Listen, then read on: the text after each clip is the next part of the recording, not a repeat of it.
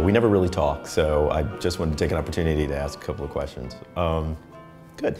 Uh, magic was kind of the point of your speech. It was weird. We're talking about advertising and design, and I was wondering if we could just review how is magic something that's relevant to advertising and design and, and where those are at today? Well, um, I began studying magic when I was a kid, a little kid, and uh, it was the Dunninger's Book of Magic. It's a beautiful book, um, all hand, hand illustration, and it's a wonderful thing that explained how all these tricks worked.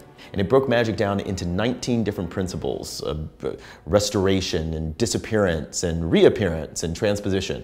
And these are the same sorts of things that we do in design, where we take something and we think about it in all these different ways. And we might just call it the way we think or instinct or training or anything, but it's nice to have kind of a I don't know, like a, a, a, map or some sort of periodic table of that sort of crazy thinking. Um, that's kind of what I use. And I do love magic, and I do actually love magic tricks.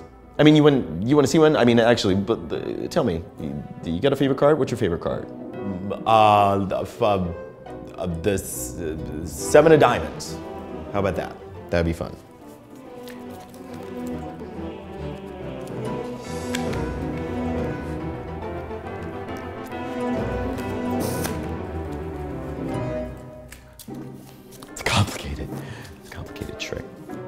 I mean, I don't know. The main point is that, honestly, the, you know, a lot of people teach the fundamentals of how things work, but kind of learning to love this business, uh, there is magic in it. Uh, what about the card?